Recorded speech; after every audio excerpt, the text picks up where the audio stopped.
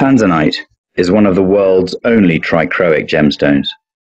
Trichroism is a gemological term that refers to certain biaxial crystals with two optic axes in which three colors can be observed. In this video, we use a very fine tanzanite crystal from the Block D mine to illustrate this phenomenon. We start with the violet axis. As the crystal turns, the reddish-brown axis becomes visible. And finally, the blue axis.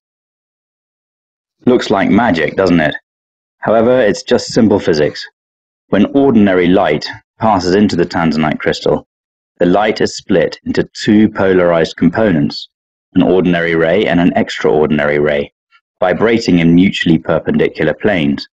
So as light travels through the crystal parallel to one of the three crystal axes, either violet, blue, or red light will be absorbed, and the viewer observes either reddish-brown, violet, or blue, depending on the axis.